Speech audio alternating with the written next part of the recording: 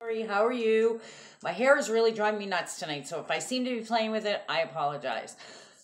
I wanted to talk to you tonight about soul wounds and how they can create almost like portals in our spirit, in our soul, and that allows us to fall under attack or maybe even fall into a contract with a negative entity without even realizing it. How would you do that? Well, I'm going to explain a little bit, and I don't want to make this a super, super long video, but it's really important stuff to know. So, there are different ways that we can come into contact. See, for a negative entity to have any kind of power over you, and if you are filled with the Holy Ghost, you can't be possessed. I know there are some people that think you can, you can't. However, you will be attacked, no doubt about it. Um, but sometimes you can be oppressed and sometimes not always not every time that you're you find yourself under attack but sometimes what happens to us is our soul wounds are so deep and depending on what has happened to us we may not even be aware of it. Our, and those wounds actually open like i said portals almost like little doorways within our soul that we're not aware of. So, on a conscious level, we may be praying, we may be, you know, following the Lord, doing everything that we should do, raising our vibration every day, reading our Bible, memorizing scripture, all of those things, and still find the spirit of suicide, the spirit of oppression, the spirit of um, anxiety, you know, all these different things. And you're thinking, what the heck, you know, or maybe you're having night terrors, or maybe you're experiencing sleep paralysis, any of those things. Now, we know that trauma in our lives can make us the people that we are.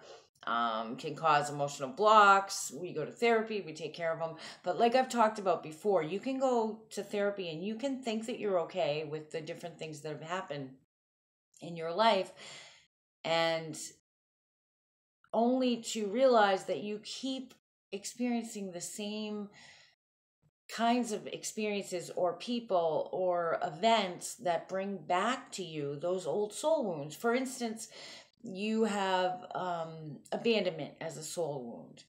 So you think you're doing fine, you've gone through therapy, you've dealt with all of the issues that you know of that brought this about and made this a part of who you are. Good job. That's great. I'm not saying that that's not good. We need to work on those things on a conscious level. But say you've done that, and then, you know, life can be going along fine, and then you hit a couple blocks because everything's circular. So you hit a couple blocks where you those same wounds are reopened again and you're like wait a minute i thought i dealt with this. But you find yourself meeting people that abandon you all over again.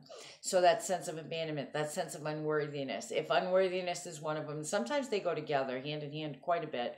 Um, so you meet people that make you feel this big. You have different circumstances where out of your control that make you feel unworthy and it's circular so it keeps coming around and i have something i have a video here I'll look it up if if and i'll try to put it in the um description. The energy bath one where we can cleanse ourselves of these soul wounds but what happens is the scar tissue is still there. So how how does that open portals and and create contracts with the negative. And I'll tell you one way it does. Okay, so there's two ways that we can have contracts with the negative without knowing it. And one is living in willful willful sin. And a lot of times what happens is it is like a catch 22 because you could have this trauma and the trauma opens this portal and then you have a contract with this principality without knowing it which leads you in this way of thinking that you're it's in your head so much that you actually think it's a part of you and you start going down this wrong road and then you end up going down this road of sin. And you know I'm not trying to sound all preachy or anything, but you can look back on it and go, wow, what was I thinking? I'm not that type of person. Say, for instance, having an affair with a married man or um, um, cheating on your taxes or something, and you go, whoa, that's not me. Why did I do that? But at the time, these negative entities made it seem like it was the right thing to do. Like for the married man thing. Oh, wait a minute, but he's not with the right person or um we're soulmates or we're you know we have this soul connection. We're supposed to be together. It was just you know all of these things can come into play. And you know what? If that's true if you are soulmates if you're supposed to be together his marriage is going to dissolve before you go that way right? So uh, and i'm not going to get into that whole thing. I you know i'm not here to judge you or me or anybody. I'm just saying how things happen okay with the spiritual realm. And they will trick you into believing that you are okay that this is fine that this is exactly how it's supposed to be Okay, so it could be that. It could be willful sin. So if you find yourself in a situation like that, just rethink it. Just sit down and go, okay, what is really going on here? Pray for discernment and, you know, reach out to somebody that you can trust, somebody that is like minded, somebody that stands strong in their faith. Okay, and somebody that's not going to sit there and judge you because none of us need to be judged. Okay, we don't need to be, oh, you're wrong. We need to be communicated with like a human being with compassion and you know, but when somebody tells you the truth, be open to listening to them. Okay? That's why we have each other. That's why we lean on each other. Okay? Don't don't get all defensive, you know? But you know what I find is people get defensive when you're critical of them. So don't be sitting there criticizing and judging them. Talk to them from a place of love. Okay, so I just got kind of off track, and my hair is really bugging me right now, so I apologize for that. Um, okay, so what am I talking about? How do these souls? I still haven't said it right. Okay, experience some kind of trauma, rape, um, child abuse. Maybe your parents just yelled a lot. See, each of us are different. So, something that may be no big deal to me may be a really big deal to you or vice versa. Um, I know I'll just speak from my heart, from my own personal experience, because I've had a lot of instances where it's as if I'm pulled away from my body. And I don't know if I'm out of the ordinary or if this happens to everybody. I know it does happen everybody, some people to a degree where they actually separate. And some people not so much to that degree. Now, if somebody actually separates, that's going to turn into multiple personality disorder. I'm not talking about that extreme, although it could happen. So, in my own life, as an infant, and I don't remember being an infant, but I remember being a very young child. And remember, I told you that I had the voices and I had all of that. So, there was a part of me that stepped forward in those moments and took over and took on the voices and, and took care of that. I also grew up in a very, very abusive household. I was sexually abused as an infant, all the way down, you know, as a young child. I don't remember being an infant, but I do remember being a small child. And I remember the breath, I remember the weight, I remember the sick feeling, I remember the pain. And I also remember a point where I wasn't there anymore. It was as if I was looking at myself. Now, I can't, I don't have vivid memories of this because I was so young. But then it happened again to me one time when I, I don't know how old I was, somewhere between eight and 10. And I had this new bicycle. I'll never forget it. It was this orange bicycle and it, it was big. Um, it was not a 10 speed. I can't remember what it was, but it was way too big for me. I shouldn't have been riding it. And I, I was a kind of klutzy kid. I was certainly not an athlete. you know, I wasn't. I was this little tiny klutzy kid. And um, the boy next door, John, Jean was actually his name, but my sister and I called him John because his parents were French and they'd say Jean and we would call him John but his name was actually Gene. But anyway, I had kind of a crush on him, and we were gonna go. He used to ride his bike down to downtown, and I wanted to go with him, and I never got to go because I didn't have a bike. So I got my bike now, and I was able to go.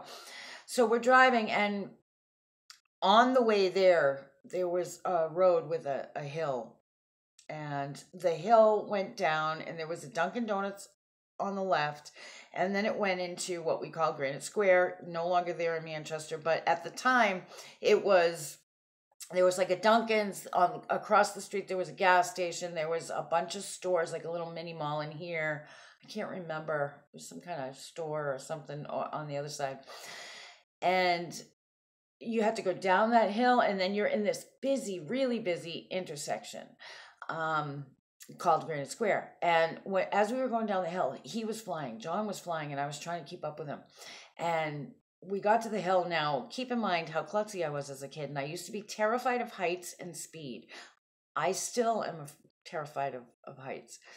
Um, so we started to go down the hill, and I started to panic, and I couldn't even talk. I mean, I didn't want to yell to him. I was embarrassed, but I started to panic. And brand new bike. I think this was the first time I ever really rode it, and um, I hit the front brakes instead of the rear brakes. So as you can imagine, I went head over heel and I flipped the bike uh, a couple times. I remember seeing the Dunkin' Donuts sign, and that is, I don't know how high up, but you know, the Dunkin' sign that goes up. I remember passing that with the bike, and I didn't let go of the bike. At some point, I must have. I remember flipping a couple times and I came down and I hit the cement. Now, I recall hearing my head hit the cement. I heard it. I didn't feel it. I heard it. At that point, I'm looking at my body. I am not in my body. I'm looking at my body. It was as if somewhere up in the air, I jumped out. I recall watching people from inside Dunkin' Donuts. John turned around. He came back on his bike, and I recall him standing over me. And it was as if I could see it from both angles. I could see it from the angle I was laying down at, and I could see it from above at the same time, as weird as that sounds. And my eyes were closed, but I could see. And some people, probably about five or six people, came out of Dunkin' Donuts. And I was right there on the street, kind of in the parking lot on the street, halfway in and out. My bike was right next to me. John was standing over me and he was crying. And um, I recall a man came up and he took my pulse. And then there was a woman and the man and John standing over me, and then people in the background. And the woman said, She's not breathing. And the man said, I can't find a pulse. And I remember the woman looking at me and saying, Is she dead? Oh my God, I think she's dead. And I remember saying, No, I'm not. I'm fine. I'm not dead. What are you talking about? But from their point of view, I guess they weren't getting a pulse. And then I remember nothing. It like blacks out. And then um, the ambulance was called and everything. And I do recall the EMTs coming. They got a pulse. But even when they got the pulse, I was still seeing both. Um, I never went anywhere. I never crossed over. I never I stayed right there with my body. So I don't think I actually died. I I think that the pulse was probably just so weak. Anyway, so that happened. Um so between and then when I got a little older, I was brutally raped I almost died. I almost bled to death because he cut me quite a bit and I bled I bled out quite a bit and I got away and I remember vaguely it's in and out because it was so traumatic. And I don't know if I left my body at that point or if it was just the loss of blood but I remember crawling out onto the street, kind of trying to run, but ending up falling. And um, next thing I know, there was a man in a pickup truck who I still believe was not even a man. I believe it was an angel because I never could find this guy again. Um, that took me to the hospital. And um, luckily, obviously, here I am. So saved my life. But again, at that point, getting into the truck, I'm seeing the same thing. I'm seeing from two points of view. I couldn't speak. I think I tried to. I, it's hard to remember. Eh, but the man, I remember his eyes were so piercing blue, the man in the pickup truck. And I was not afraid of him, which you would think I might be after what just happened to me, but I wasn't. I knew he was, a, I knew that he was going to help me. Put me in his truck, brought me to the hospital. Even as I was wheeled into the hospital, I remember feeling myself on the gurney seeing from that point of view, but also seeing as if I was walking next to the gurney.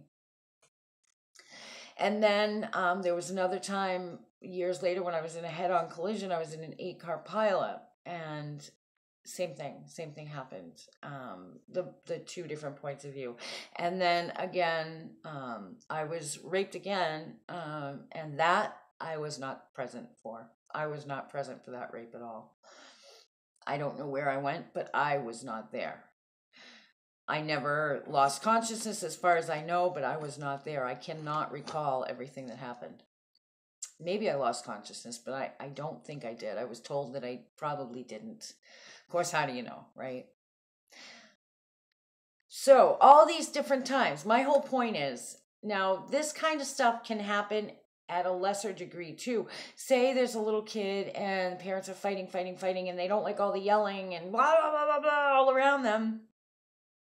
So they escape. It may not be to the same degree, they may not feel themselves come out, but they escape. There are people that have clumps of memory gone okay and it may not rise to the level of completely separating and creating a whole new personality to come in and take over for you and then have to integrate those personalities later because then it becomes a disorder multiple personality disorder. There can be people like me who actually something happens they go away I know with the voices, there was like another me that stepped in, a stronger me. I know with the massive abuse in my house, there was a stronger me that stepped in. Although I never rose to the, I never completely separated. I never separated so that I had to integrate these personalities. They integrated on their own. However, when these soul wounds run so deep, I still have the soul wounds. And, you know, we have soul wounds, all of us do. Um, and we may not know what they are. The way that you learn what they are is when you're raising your vibration, they sometimes will just come to the surface. But other times is pay attention to what's going on because life is circular, as I said, and these events and stuff will keep coming into your face. Do you ever feel all of a sudden like life can be going good and all of a sudden you feel unworthy, or all of a sudden you feel um, I don't know. I, I don't know. There's so many different ones. I say unworthiness because that's like mine. Or you feel um, ashamed or or something. You know, these are your soul wounds coming up. So you gotta, no matter how much therapy you do mentally, no matter how much emotional work you do, we gotta work on our spirit. So we do the cleanse, we cleanse our spirit, we raise our vibration, what raise our vibration. When these events come up and they come into place, we pay attention to that and we ask for discernment and we heal them each time. And then the scars can be opened, but each time it gets easier because you're aware of it, you see it, you don't let it you don't let it take over you, right? So but what happens when you're in these in between spaces? And like I said, it could be something much smaller for you or much bigger for you. We all have our level where we might cut out and we might not cut out completely. Maybe you didn't cut out completely like me, but you did some kind of protective mechanism. You built that wall or you hardened your heart or whatever the case may be. Whatever that is, that right there, that separation, that point of separation, at that point, the negative entities are right there ready to latch right on. If they latch on at that point because of the trauma, they find a way. They find loopholes because there there's like a legal um, uh, contract that they have to follow, but they find loopholes and they get you at that point. So that's why that's another reason why it's so very very important that we heal these wounds, that we get to the root of them, because we don't want these negative entities having any kind of hold on us. They will take advantage of our trauma. They'll take advantage of our mistakes. They'll take advantage of our, you know, going down the wrong road or even like I said, I mean some of these things it, it's you know, I fell off my bicycle. It's not like I was doing anything wrong, but they can take advantage of that. And then they can they can plague you with that. Okay? So it's very very important that we get to the root of these um, soul wounds and heal them up because they will they don't come in like most negative entities i mean some of them like if you find yourself in a house that is filled with like disembodied spirits um some of them may come in a very scary form, but most of the time they don't. Most of the time, I mean, they're the masters of deception, so they'll come in as a, um, a being of light, or maybe not even a being at all. Maybe they'll come in as a thought or whatever. And, you know, we are so programmed not to see into the spirit realm, not to think um uh not to think of of eternity wise but to think of you know earthbound stuff so we don't even see it so, anyway, soul wounds, very important to heal. I just want you to think about this. So, I don't mean for you to go back to all the traumas of your life. I don't mean for that, especially if you haven't had any kind of therapy or anything. Don't don't do that without somebody's help. But just know that these wounds are very real. We all deal with things in our own way, like I said, whether it be building a wall, whether it be stepping out of ourselves, whether it be creating another personality, whatever the case may be, we all do it. Our spirit needs to be healed if we're going to rise to the level that we need to rise to. If you need help with that, I do this kind of work every day. If you need help with that, please reach out. My email address is answers, the number four, you16 at gmail.com. If you need to talk about it, you don't have anybody to talk to, message me. This is important stuff. I can help you heal those wounds. I don't want to, you know, I could go on to different ways to heal them, and we're going to end up with a two hour video. I don't want to do that. Besides, it's a very personal thing for each person, but it's real, real important. And it can, you know, healing these wounds can remove the blocks from your life.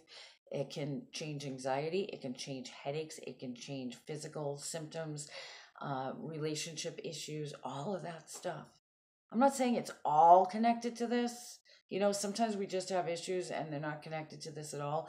But our body, mind, and spirit all work together.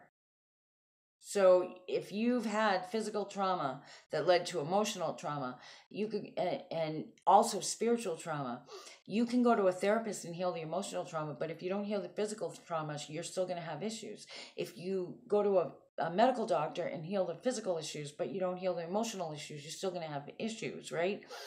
And if you don't, same thing. You could go to the medical doctor, you could go to the psychiatrist or psychologist and work these things through and heal your body. But if your spirit is still injured, you're still going to have these blocks. So if you need help, reach out to someone, even if it's not me reach out to someone qualified and um, find some exercises to help you through this stuff. It's real. You're not crazy, okay? And these blocks can be really, really devastating.